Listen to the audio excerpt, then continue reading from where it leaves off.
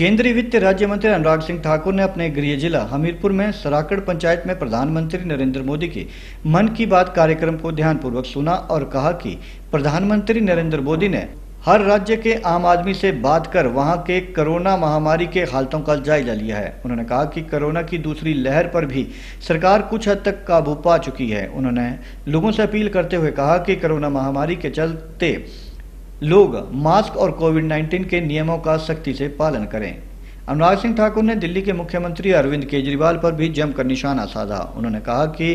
केजरीवाल ने दिल्ली में झूठी चार गुना डिमांड कर लोगों के साथ धोखा किया है उसकी वजह से अन्य राज्यों में ऑक्सीजन की कमी हुई और लोगों की जाने गई उन्होंने कहा कि देश की जनता उन्हें माफ नहीं करेगी संरक्षण के आप कैसे छोटे छोटे कदम के माध्यम से भी अपने क्षेत्र में पानी की कमी को पूरा कर सकते हो ग्राउंड यानी कि ज़मीन का जो पानी ज़मीन में जो पानी का स्तर है उसको कैसे बढ़ा सकते हो छोटे छोटे चेक डैम छोटे छोटे तालाब बड़े तालाब इन सब का बहुत बड़ा फ़ायदा हो सकता है ये ऐसी बातें हैं कहने में छोटी लगती हैं लेकिन समाज और देश पर बहुत बड़ा प्रभाव छोड़ती है देश के लोगों के साथ जो किया है देश उनको कभी माफ नहीं करेगा अपनी ओछी राजनीति के लिए करोड़ों लोगों की जान के साथ अरविंद केजरीवाल जी ने खेलने का काम किया जो मेडिकल ऑक्सीजन देश के अलग अलग हिस्सों में पहुंच सकती थी एक ऐसी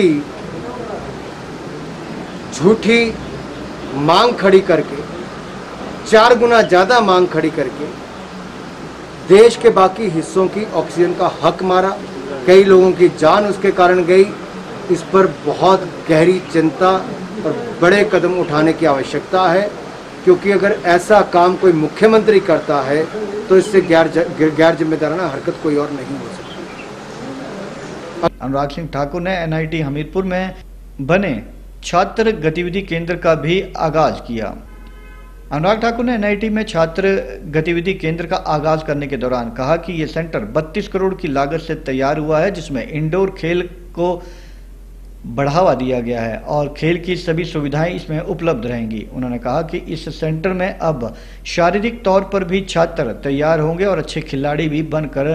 देश की सेवा करेंगे एन हमीरपुर जिसने देश में अच्छे उत्तम शिक्षण संस्थानों में अपनी एक स्थान बनाया है आज उसमें एक बहुत महत्वपूर्ण स्टूडेंट एक्टिविटी सेंटर लगभग 32 करोड़ रुपए की लागत से बनकर तैयार हुआ है जहां पर अनेकों खेलों की सुविधा है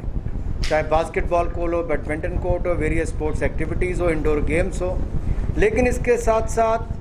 ड्रामा रिहर्सल्स और एक्टिविटीज़ कल्चरल एक्टिविटीज़ के लिए भी वहाँ पर स्कोप दिए गए हैं जिमनेजियम और बाकी फैसिलिटीज़ हैं मल्टीपर्पज़ हॉल है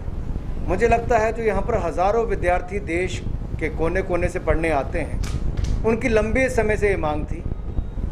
और ये मांग आज उनकी पूरी हुई है और मुझे खुशी इस बात की है कि बहुत ही सुंदर ये भवन बनकर तैयार हुआ है एक्टिविटी सेंटर बनकर तैयार हुआ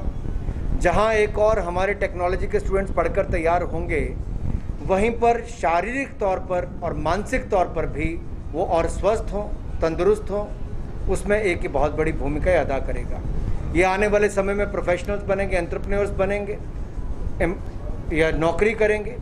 हर क्षेत्र में दबाव जहाँ पर होता है वहाँ पर अगर स्टूडेंट लाइफ से आप स्पोर्ट्स एक्टिविटीज़ के साथ जुड़े हो या कल्चरल एक्टिविटीज़ में आपका कुछ योगदान रहता है तो कहीं ना कहीं आपको एक ब्रेक भी मिलती है आप अपने आप को